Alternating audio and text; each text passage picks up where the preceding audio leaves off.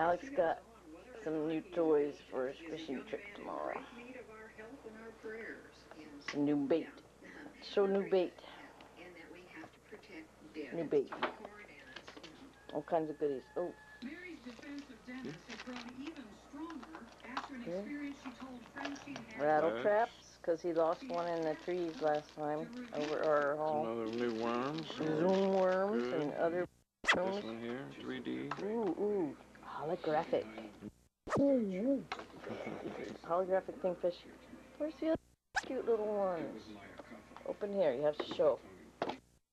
Okay, here's one. This has got a holographic body. It's supposed to be like here. Let's put it on his shoulder. You can see it on the, on the white background. It's ah. supposed to look like a live fish. Get it off.